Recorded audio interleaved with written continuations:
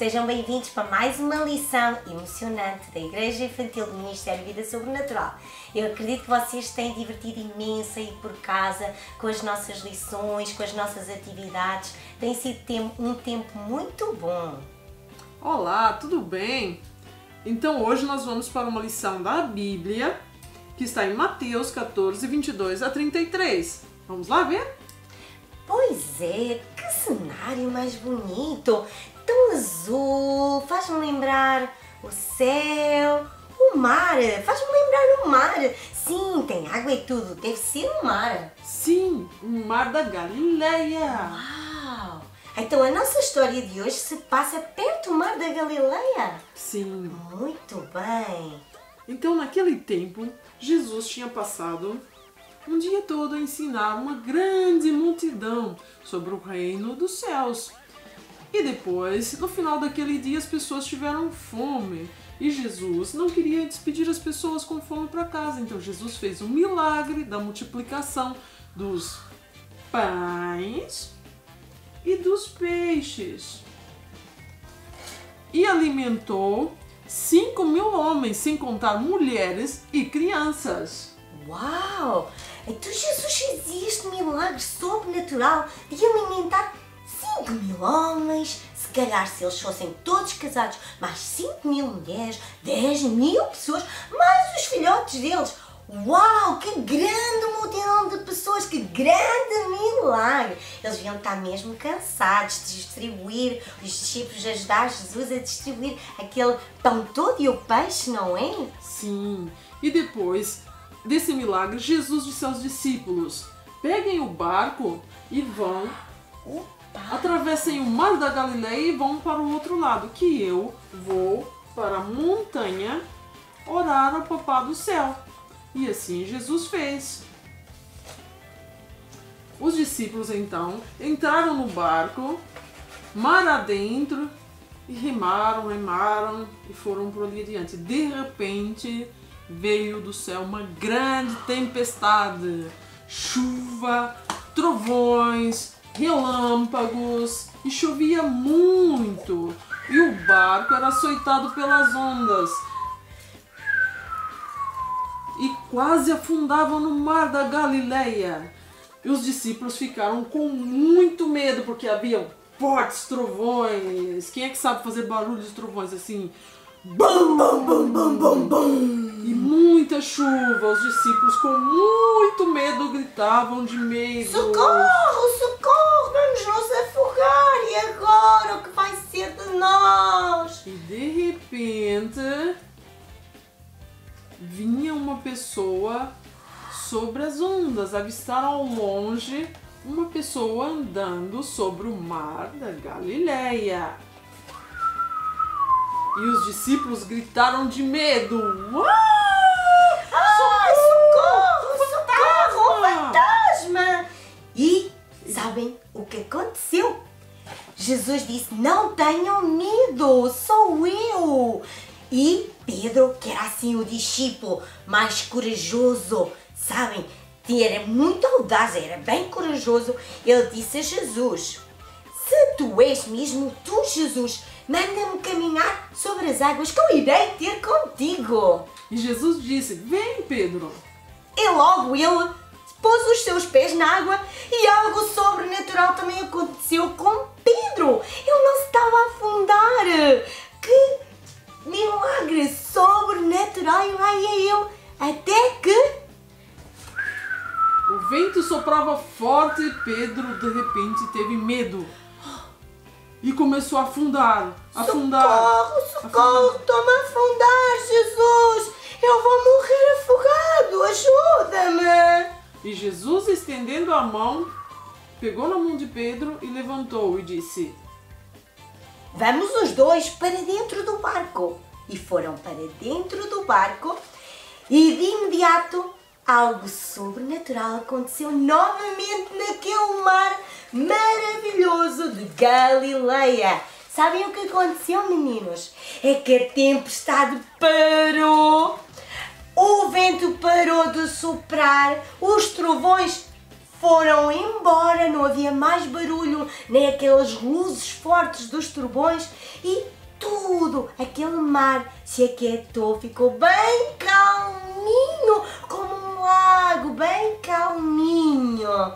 E Jesus ficou bem tranquilo com os seus discípulos e prosseguiram a sua viagem até a outra cidade de lá do outro lado do mar da Galileia. E sabem o que é que aconteceu naquela cidade? Jesus e os seus discípulos fizeram grandes milagres. Sabem, os habitantes daquela aldeia ouviram falar que tinha chegado alguém muito especial àquela aldeia, que era Jesus, isso mesmo, Jesus! E eles sabiam que Jesus fazia grandes milagres. E correram, porque eles diziam: se eu somente tocar em Jesus ou nas vestes dele, eu vou ser curado. E eles correram para junto de Jesus, os habitantes, para poderem também ser curados e receberem um milagre na sua vida. Bom, esta história, ela nos ensina algo tão importante que às vezes acontece na nossa vida, crianças. Primeiro que nós temos que ser como Jesus, orar sempre. É muito importante a oração na vida de um filho de Deus. Não concordam comigo? Sim. Eu acho que sim, claro que sim. Vocês são meninos e meninas de grande oração. E outra lição que nós aprendemos é que às vezes vem assim aquelas tempestades fortes à nossa vida que são os. Os medos. Quem é que tem medo aí? Hum. Pois é. Muitas das vezes nós, crianças e até nós adultos, não é? Temos medo, mas nós temos que ser como Pedro confiou em Jesus. Ele primeiro foi muito audaz e confiou que Jesus e que tinha esse poder também, como Jesus, de andar sobre as águas. E foi. Só que às vezes nós também somos como Pedro. E quando vêm assim as ondas fortes, as tempestades, nós também ficamos assim cheios de medo. Mas sabem, nós temos que confiar, porque assim como Jesus deu a mão a Pedro e o levantou e o tirou daquele mar, Assim Jesus também faz conosco. Sempre que nós temos medo no nosso coração, nós precisamos de ir junto a Jesus e dizer: Jesus, eu tenho medo. E dizer de que é que nós temos medo? Olha, Jesus, eu tenho medo do escuro. Ajuda-me a superar isto. Ajuda-me a não ter mais medo no meu coração. Por exemplo, eu tenho medo dos cães grandes que me mordam. Jesus, ajuda-me a não ter mais medo de animais. Eu tenho medo que algo aconteça de mal na minha casa, na minha família. Jesus ajuda-me, protege sempre a minha família para que nada de mal aconteça a ela. Sempre que vier o medo, sabem? O medo não vem de Deus. Não, não. Não, o medo não vem de Deus, mas Deus dá coragem para ultrapassarmos o medo. Porque porque ele prometeu estar sempre conosco. Vocês sabiam que está escrito na palavra de Deus que ele prometeu estar sempre conosco e ele cuida de cada um de vocês, como cuida de cada um de nós, não é, Márcia? É verdade. E o medo vem do diabo. Portanto, nós não podemos deixar que o medo ataque o nosso coração. Quando ele vem, nós temos que dizer assim: em nome de Jesus, medo, fora da minha vida. E Jesus logo vai estar a tirar todo o medo do nosso coração. Outra coisa que nós também aprendemos é que Pedro obedeceu a Jesus. Só quando Jesus disse: Vem, Pedro, ter comigo, é que ele avançou nas ondas do mar. Até lá ele manteve-se dentro do barco. Então nós também temos, isto nos ensina que também temos que estar bem atentos à voz de Deus na nossa vida, porque Deus sempre vai estar nos dirigindo, dando bons conselhos para que tudo corra bem na nossa vida. Então, é muito importante também ter um coração obediente, sermos obedientes, meninos. Muito bem. E quem é que é filho de Deus? Sim, eu sei que vocês são filhos de Deus. Então, aquele que é filho de Deus não tem medo, porque tem um papá que o guarda, não é verdade? Não é preciso ter medo de nada, porque o papá do céu está a guardar as vossas vidas.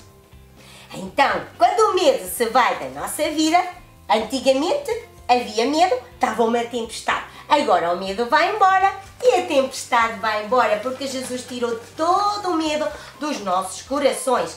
E agora, vamos fazer uma oração para que Jesus tire todo o medo do nosso coração e nos ajude a ser meninos e meninas bem fortes. Então vamos fechar os nossos olhinhos e vamos orar. E vamos dizer assim: Jesus, Jesus, nesta hora, hora, eu oro eu oro em nome de Jesus, nome de Jesus, para que tu tires, que tu tires todo o medo, todo o medo que eu possa ter, que eu possa ter no meu no coraçãozinho, meu coraçãozinho. agora mesmo, Agora Jesus. mesmo, tu estás a tirar isso a tirar da isso minha vida. da minha vida. E assim como Pedro, assim como Pedro, eu vou ser eu vou ser corajoso. Corajoso. E vou estar bem atento, à tua voz, tua aos voz, teus conselhos, teus conselhos amorosos, amorosos, porque tu porque tu és muito bom para és mim. muito bom para E mim. tudo E tudo o que vem de ti, que vem de ti, a Bíblia diz a Bíblia diz que é bom, que é bom, é perfeito, é perfeito e é agradável. e é agradável. Por isso, Jesus, Por isso, Jesus, obrigado, obrigado, porque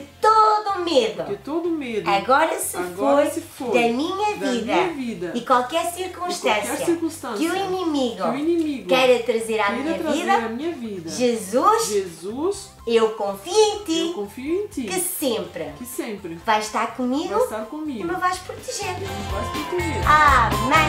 Amém.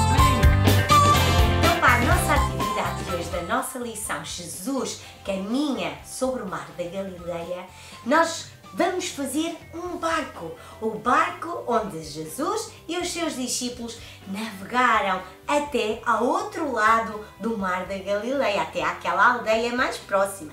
Então, para o barco, vamos usar material reciclável. Vamos usar uma caixa. Estão a ver as caixinhas de manteiga? Quando já não tem manteiga, lavamos bem a caixinha e vamos reaproveitar. São materiais recicláveis. E agora a Odete vai explicar o que é que vocês vão fazer a seguir. Então, depois de bem lavado, peguem uma tinta, a cor que vocês mais gostam, um pincel e vamos. Vocês sabem como é que faz, não é? Abre. Ai.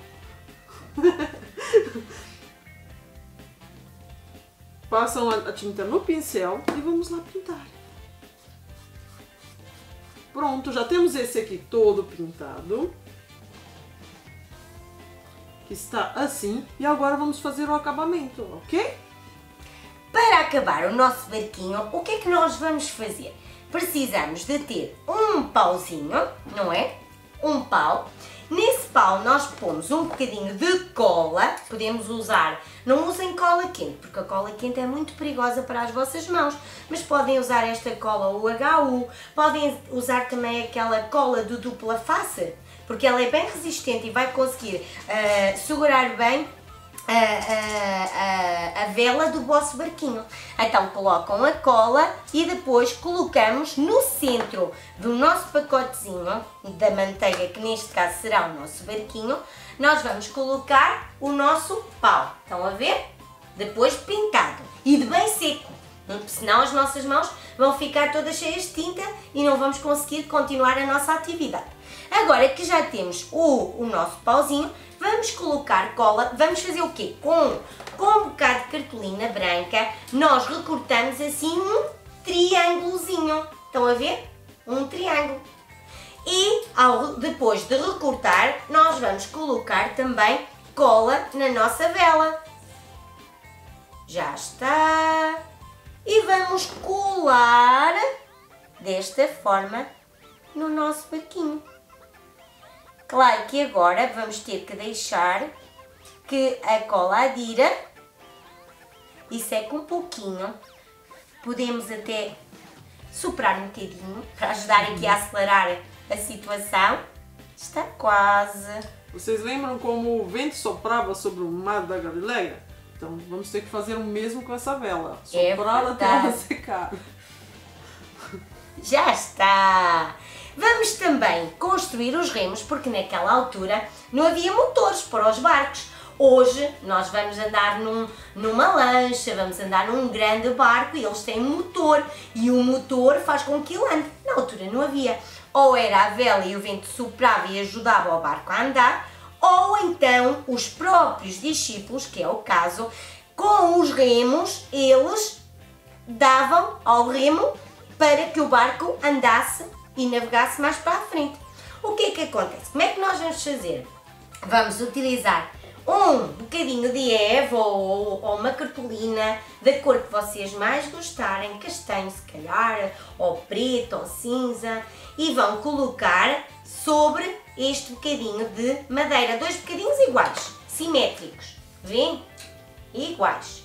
E depois vamos pôr cola novamente num deles, encheu de cola, aí está. Vamos colocar o nosso pauzinho no meio e agora vamos colocar a outra parte e pressionar até que a cola seque novamente e adira. Mas nós já temos aqui dois prontos e vamos colocá-los no nosso barquinho. Vê? Agora é sim, agora é algo super mega fixe. Vocês podem optar por pôr o vosso barquinho e brincar com ele ou na água, porque vocês vão ver que como é de plástico e é leve, ele vai flutuar. Claro que ainda fica mais bonito, vocês lá em casa arranjam assim uma, uma bacia grande e colocam cheia de água e depois andam lá a brincar e até contam a história aos vossos manos mais novos, vai ser super divertido, eu creio que sim. Ou então podem recortar um pedaço de cartolina azul para fazer de conta que é o Mar da Galileia e colocam o vosso barquinho sobre, com a ajuda de cola, sobre o mar. Agora fica o vosso, é uma opção vossa. Ou usam a bacia cheia de água e podem brincar e brincar, ou então fazem vocês próprios o vosso mar e podem acrescentar os peixinhos, a criação de Deus dos oceanos. Agora tem que dar aso à vossa imaginação, porque Deus nos deu uma uma cabecinha para nós imaginarmos coisas bem bonitas e criarmos. Criar, Deus nos deu criatividade. Sabe que só o ser humano tem criatividade? Os animais não têm criatividade. Eles não criam nada, pois não? Então nós temos que usar a criatividade que Deus nos dá. E eu sei que vocês todos são criativos, não é verdade? Gostaram desta atividade? Agora façam em casa com a ajuda dos vossos irmãos e depois usem mesmo o barquinho que vocês próprios construíram para contar esta linda história aos vossos papás, aos vossos familiares. Até os podem convidar para uma reunião especial lá em casa e contar esta linda história. Adeus! Até à próxima!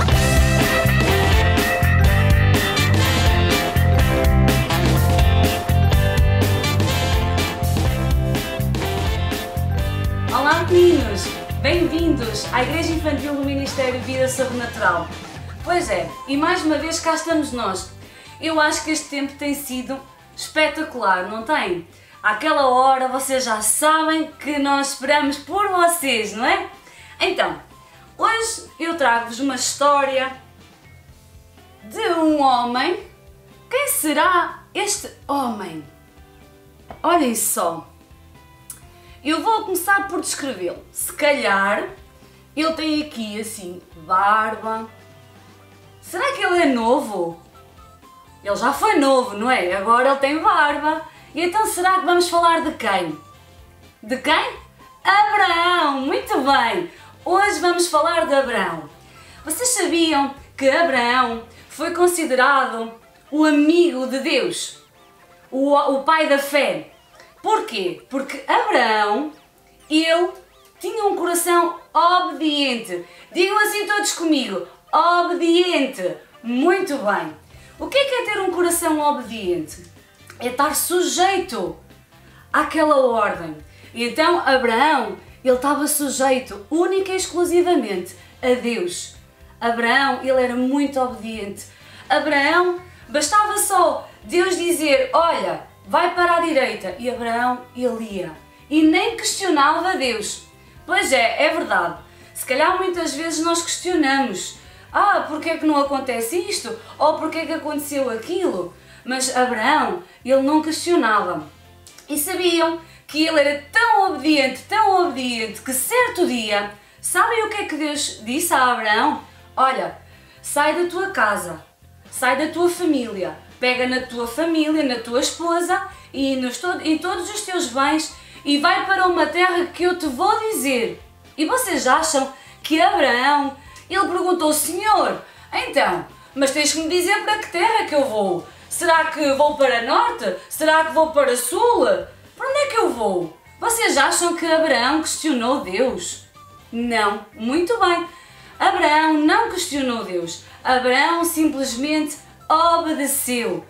Deus disse: sai e vai para a terra que eu te direi. Que eu te direi. E então Abraão assim fez. Abraão, ele foi e Deus o guiava a todo o tempo. Deus o guiava dia após dia, dia após dia. Ele não sabia, se calhar, para que terra que ele iria. O que ele sabia era que ele estava a ser dirigido único, única e exclusivamente por Deus. Pois é. E neste percurso, o que é que acontece? Abraão lá ia a caminhar com toda a sua família, com todos os seus bens. E certo dia, Deus diz assim a Abraão: Olha, não temas. E Abraão diz: Certo, Senhor, eu não temo. Sim, não temas, porque eu estou contigo. E Abraão, ele começou assim a ver que já estava a ficar assim com barbocas, com barba, já estava a envelhecer. E então Abraão perguntou a Deus: Senhor, para quem é que eu vou deixar tudo o que eu tenho? Abraão tinha muitas, muitos bens, Abraão tinha muitos animais e ele não tinha filhos. Abraão não tinha filhos e já estava a ficar velhinho. E ele dizia assim: Senhor, eu não temo, é certo, eu não temo, tu estás comigo, mas para quem é que eu vou deixar isto tudo? A quem é que eu vou entregar? O que é que me vais dar, Senhor? Abraão ficou assim um pouquinho a pensar, um pouco confuso, mas Senhor, ok, eu sei, eu sei que tu estás comigo, mas o que é que me vais dar? O que é que tu me vais dar? E Deus disse assim a Abraão: Olha, vem cá fora, vem cá fora e vê estas estrelas. Olha só estas estrelas. Estás a ver estas estrelas? Esta será a tua descendência. Então, o que é que acontece? Abraão olhou para aquelas estrelas, assim, muito perplexo. Se calhar tentou-as contar, mas não conseguiu. Eram tantas, nós também não conseguimos contar estas estrelas aqui todas, porque são muitas. Então o que é que Deus estava a querer dizer? Olha, esta será a tua descendência. E então Abraão perguntou-lhe: me darás um filho, Senhor, com esta idade? E sabem, não só ele estava envelhecido, mas Sara, Sara também estava. Olhem só este cabelinho branco. Sara também estava. Assim, Abraão e Sara já estavam com uma idade avançada. E o que é que acontece? Será que realmente nós podemos ter filhos, Senhor? Será que eles podem ter filhos? Será que eles viam, eles viam o tempo a passar, eles viam ano após ano a passar, ainda não eram pais. E ele olhava para Sara e via que ela já estava a envelhecer também. E ambos sabiam que estavam a envelhecer e ainda não tinham um filho. Mas sabem, Abraão acreditou de todo o seu coração. Quando Deus lhe mostra as estrelas lá fora, Abraão simplesmente no seu coração creu, acreditou, porque tudo o que dizia, tudo o que Deus dizia a Abraão, ele acreditava, ele obedecia. E então, o que é que Abraão acreditou? Acreditou que se Deus disse, então Deus vai cumprir. E assim foi. Com o passar do tempo, com o passar dos anos, certo momento, Abraão, é, Deus revela a Abraão que Sara será mãe. Sara será terá um bebê. E ele não olhou para o, para o corpo de Sara, que já estava a envelhecer, e também não olhou para ele que estava a envelhecer. Simplesmente ele creu e acreditou. E sabem o que é que acontece? Sara, ela fica grávida de Abraão. Já viram? Eles eram um casal, lindos, olhem só que bonitos. Eles, eles tinham muitos bens, tinham muitos animais, mas a descendência deles. E nós sabemos que Deus prometeu que nós, nós teremos. Uh, e nós sabemos que Deus, quando criou o homem e a mulher, Ele deu uma promessa. Ele deu essa promessa. E não importa quanto tempo passe. E então Abraão sabia que Sara iria engravidar. E se calhar houve ali se calhar alguma dúvida, não sei, nem Sara, porque até se riu, mas Abraão sabia que Deus iria lhe dar um filho. E então, no tempo em que Deus disse, no tempo em que Deus determinou o que é que acontece, grave, no tempo em que Deus determinou, no tempo em que Deus determinou o que é que acontece? Sara fica grávida. Pois é, vocês já viram que tremendo é Deus? Não importa a idade, não importa a circunstância, eis que a promessa de Deus se manifesta na vida de Abraão e de Sara. Porquê? Porque Abraão tinha um coração obediente. Muito bem. Não importa aquilo que tu tens clamado a Deus, aquilo que tu tens procurado eh, eh, ter na tua vida, o que importa é que se Deus disse, Deus cumpre. Não importa se passou uma semana, se passou um mês, se passou um ano, dois anos, três anos. O que importa é que Deus disse. E então nós temos que pegar no exemplo de Abraão, um homem de fé, um homem obediente, e dizer assim: Uau! Se Deus fez com Abraão, se Deus fez com tanta gente ao meu redor, também vai fazer comigo, Senhor. Tu prometeste, tu cumpres. E o que é que acontece? Eis que nasce Isaac. Isaac. Nasceu Isaac e ficou crescido, como vocês já veem. Isaac está crescido. E então, esta é a promessa de Deus. Deus prometeu a Abraão que iria ser pai de nações, que iria, a sua descendência iria ser assim incontável, que não dá para contar, assim como as estrelas. E assim é. Então Abraão, juntamente com Sara, tiveram Isaac, a promessa que se calhar muitas pessoas duvidavam porque já estavam velhinhos.